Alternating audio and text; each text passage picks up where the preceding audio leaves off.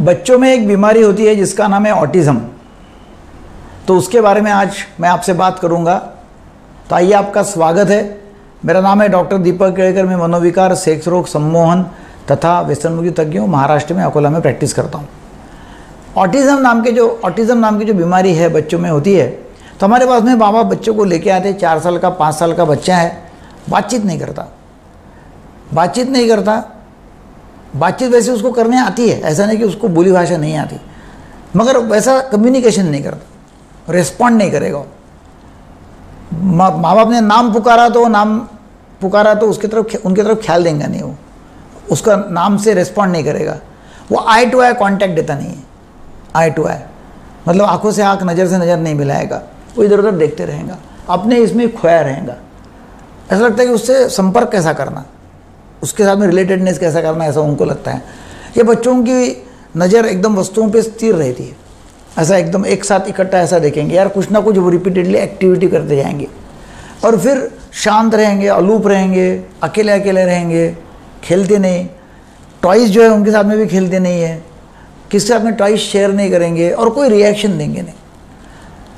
माँ बाप बोलते ये बच्चा खुश है कि नहीं है? मालूम नहीं पड़ता। रिएक्शन देता नहीं है। खुशी भी नहीं, दुख भी नहीं है।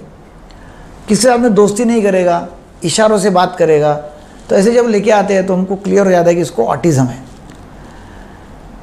तो एक इसका कारण क्या है मालूम नहीं है कि भाई ये होता क्या है, होता क्यों है? लियो कैनर नाम के जो साइंटिस्ट थे, उन्होंने 1943 में ये टर्म कॉइन किया और उन्होंने पहली बार इसके बारे में बताया लोगों को। और ये दस हज़ार बच्चों में चार से पाँच बच्चों को ये हो सकता है। यूजली तीन साल के पहले ये दिखता नहीं मतलब मगर उस, उसकी शुरुआत जो है तीन साल के पहले होती है मगर धीरे धीरे धीरे धीरे वो दिखाई देता है मगर तीन साल के बाद में ज़्यादा लक्षण देते दिखाई देते हैं। तो सोशल इम्पेयरमेंट जो है मतलब इसके मुख्य तीन जो लक्षण है वो है कि सोशल इम्पेयरमेंट सोशल इम्पेयरमेंट मतलब लोगों के साथ में रिलेशनशिप नहीं रहना रिलेटेडनेस नहीं रहना। नंबर दो संवाद में कठिनाइयाँ कम्युनिकेशन प्रॉब्लम और नंबर तीन बार बार कृति करना। तो ये उनके लक्षण है। और इनका ऐसा कोई इलाज नहीं है कि भाई गोलियाँ दे दिया तो बच्चा अच्छा हो गया। बच्चों को स्किल्स ट्रेनिंग देना स्किल्स ट्रेनिंग अलग अलग स्किल्स उनको सिखाना। फिर पेरेंटल काउंसिलिंग करना कि भाई बच्चों को कैसा बड़ा करना, उनको कंडीशनिंग कैसा करना, फिर उनको रिवार्ड कैसे देना। तो ऐसे पेरेंट्स को सिखाना पड़ेगा कि reward and operant conditioning principles वो हम बच्चों को पेरेंट्स को सिखाते हैं। और स्पीच थेरेपी बच्चों को देते हैं। फिर बड़े होने के बाद में ये जब बच्चे लाते हैं तो हमको लगता है कि भाई स्किजोफ्रेनिया है क्या? है मतलब पागलपन जैसा कर रहा क्या है क्योंकि ऐसा स्किजोफ्रेनिया सिंपल स्किजोफ्रेनिया और ये बच्चे, इनमें कोई डिफ्रेंशिएशन जल्दी करने नहीं आता।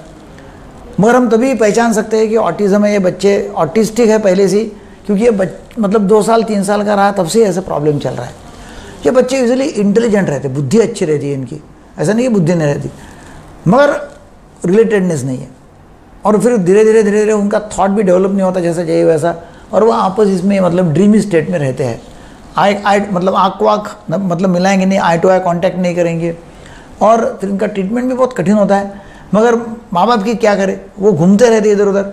हम लोगों को काउंसलिंग करना और इसके लिए हम बताते हैं कि भाई इसमें आ, पक्का इलाज ऐसा नहीं है कि दवाई दिया तो अच्छा हो गया। पेरेंटल काउंसलिंग इसलिए ज़रूरी है कि भाई जीन्स का यदि स्टडी किया कि भाई आगे इनको बच्चे होने वाले तो ऐसे हो सकते क्या?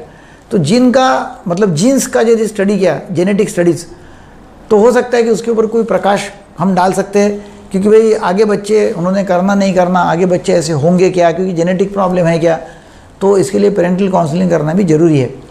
तो ये है ऑटिज़म आपको ये वीडियो अच्छा लगा तो ज़रूर शेयर करो सब्सक्राइब करो। हमारा जो मिशन है, वो है सबके लिए मानसिक स्वास्थ्य और व्यसन मुक्त भारत।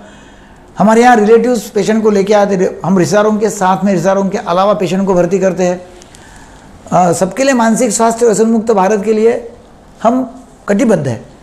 आप भी इसमें हाथ जोड़ सकते हैं मतलब हाथ लगा सकते हैं, आप सपोर्ट कर सकते हैं। आप ये वीडियो लोगों को ज़्यादा शेयर करो सब्सक्राइब करो बेल आइकॉन आता है उसके ऊपर क्लिक करो, ताकि मेरे वीडियो के नोटिफिकेशन आपको सबसे पहली बार आ जाएँगे। Thanks for watching